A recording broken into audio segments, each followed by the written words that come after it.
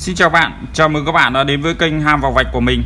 À, Trên tay của mình đang là con à, Samsung Galaxy Note 8 Và cái video này thì mình sẽ chia sẻ với các bạn cách có thể là hiển thị phần trăm pin cho cái con à, Samsung Galaxy Note 8 này nhé Các bạn muốn hiển thị phần trăm pin lên để chúng ta có thể là tiện cho cái kế hoạch để chúng ta sử dụng uh, điện thoại này Và để tiện cho chúng ta sạc pin cho nó nhé Ok đối với con Samsung Galaxy Note 8 này thì các bạn sẽ thực hiện uh, theo mình để bật cái uh, để chúng ta hiển thị cái phần trăm pin lên cho nó nhá. À, các bạn sẽ vào cài đặt cho mình này. Đây các bạn vào cài đặt cho mình nhá. Rồi các bạn sẽ chọn cho mình vào cái mục là thông báo này. Rồi các bạn sẽ chọn cho mình vào cái chỗ là thanh trạng thái này.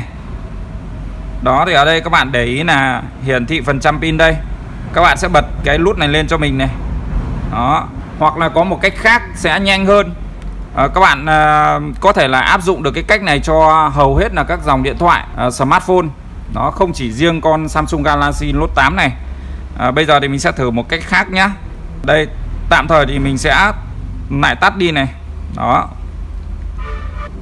Đây nhá các bạn sẽ vào lại cho mình là cài đặt này.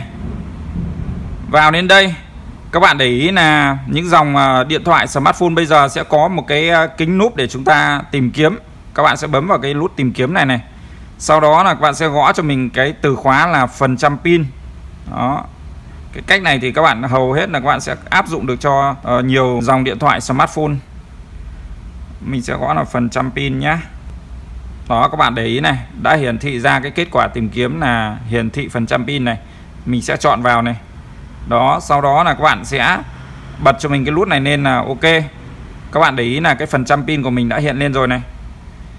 Ok như vậy là cái video này mình đã chia sẻ với các bạn cách có thể là hiển thị phần trăm pin cho cái con à, điện thoại Samsung Galaxy Note 8 này rồi nhé và uh, các bạn cũng có thể là áp dụng được cái cách như cái video này uh, cho những cái dòng điện thoại smartphone khác nhé Ok thì uh, mình sẽ dừng cái video này tại đây.